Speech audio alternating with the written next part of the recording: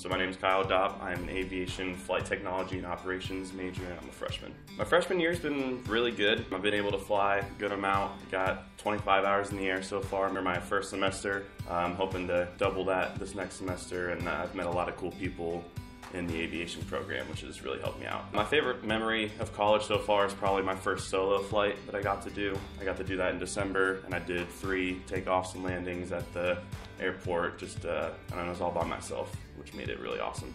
I chose to major in aviation mostly because of my uncle who got me like into flying and I also just really like that's something that I've always wanted to do is just be able to defy like physics and be able to fly as a human being. I live in the aviation learning community in McDonald Hall, which has like really helped like with just my nerves of my first year of college because I've met a lot of cool people that are just interested in the same thing as me, which is really nice and made it really easy to bond over something, make friendships that are over similar interests. One thing that I'm really looking forward to, like throughout these next couple years, or actually this next semester, would be uh, getting my private pilot's license. I'm really excited to get that so I could have the chance just to be able to go fly whenever and wherever I want. I really recommend the aviation program here at uh, Bowling Green just because of how close the airport is on campus. It's a 10 minute walk from my like residence hall, which makes it really nice and be able to get in the air and like just really understand and experience what aviation has to offer.